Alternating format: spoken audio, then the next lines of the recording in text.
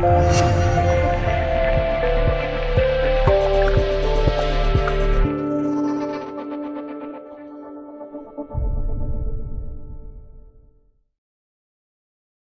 运会，中国男篮全胜，以 D 组第一的身份进入了下一轮。而从美国回来的中国大魔王周琦，毫无疑问成了亮点。而周琦两战合计砍下三十四分、十五篮板、十盖帽，打出统治级别的表现。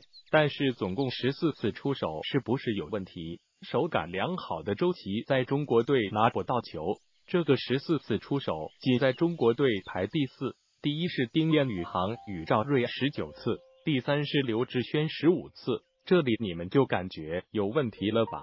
出手次数第四的周琦拿到了全队最高分，而剩下的人却还没周琦第一场得分高。一群人乱打、乱投、乱突。当然，丁彦雨航是因为有伤影响了命中率，但是有些球没办法，他必须的攻。这刘志轩、赵睿到底是在玩什么幺蛾子？看来没有了赵继磊，中国的控卫线找不到师也好，能给周琦传球的人了。不过有一点可喜，那就是你们有没有发现周琦长高了？初入联盟战力摸高二点九一，现在能看出来周琦能踮着脚摸框了。这就是 NBA 啊，能让周琦拥有强壮身体的同时，还是继续长高，也是人家训练有体系。